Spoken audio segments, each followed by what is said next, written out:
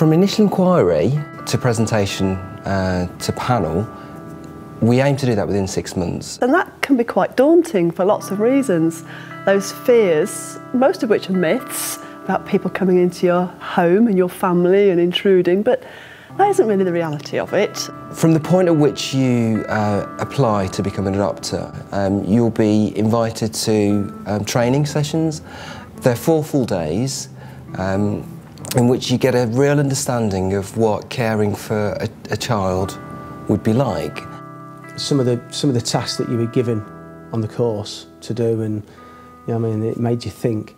But after after that, we talked about this. Says no, let's we want to carry on. We want to go forward.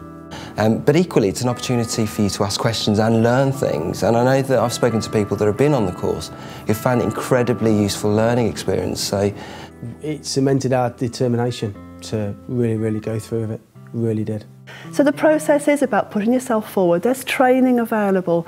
And then for myself, it was a weekly meeting with a social worker to talk about my childhood, my family, my beliefs, my values, my ethics. In addition to that, was was uh, you're being assessed. You'll be asked to to have a medical examination by your GP. Um, there will also be school references. So if you have children, we will undertake references from the school. It is very intrusive. We knew it would be to a certain extent, but it needs to stay like that. It needs to be that. The group need to know, social services need to know that you can take care forever a child. It, you, you find out about yourself and you find out, make sure that you are the right people for these children. And, then, and, and these children need to know that you're the right, right for them as well. And they need to understand what the strengths of your family are and the weaknesses in your family because everybody has strengths and weaknesses.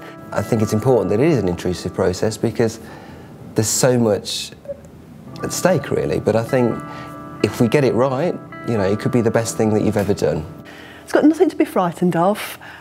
It's enlightening, it makes you dig deep into who you are, but more than anything, it convinces you that you're doing it for the right reason. And you're not just sitting there and going, do you know what, I think I'll give this a go, because you really do dig deep and explore who you are and what you're about. And you get to the end of that process, you know you're doing the things for the right reason and you know you have so much to offer somebody.